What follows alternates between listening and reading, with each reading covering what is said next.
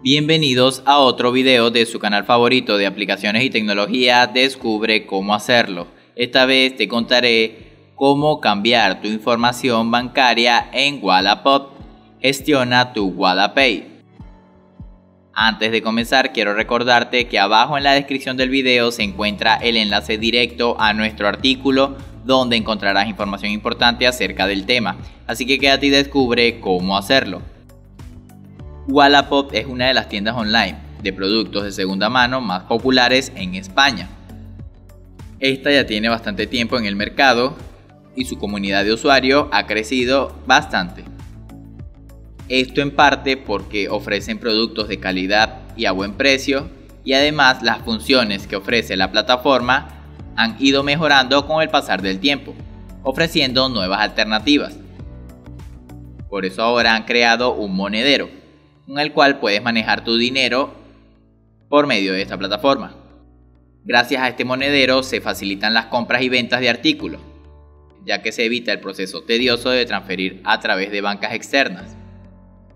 Por lo que si deseas realizar una compra, solo debes acceder al dinero que tienes guardado en la plataforma y el procedimiento será mucho más rápido. Este dinero también puedes transferirlo a tu cuenta bancaria, esto en caso de que obtengas beneficios por la venta de algún producto. Al realizarse una venta a través de Wallapop, el usuario tendrá 48 horas para verificar que todo esté bien o para devolverlo. Pasado este tiempo, se da por terminada la venta y el dinero va a la cuenta del vendedor. Si quieres sacar tu dinero del monedero es importante que tengas una cuenta registrada en esta plataforma ya que de lo contrario Wallapop no tendrá a dónde enviar el dinero. Si deseas cambiar o agregar una cuenta en la plataforma de Wallapop, puedes hacerlo por medio de la aplicación. Para esto debes haberla descargado en tu dispositivo móvil.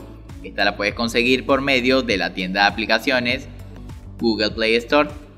Si ya posees la aplicación, abre esta Luego ve al icono de la carita sonriente que se encuentra en la esquina inferior derecha. Al acceder a estas configuraciones, debes entrar en la opción de monedero. Aquí debes presionar la opción de datos bancarios.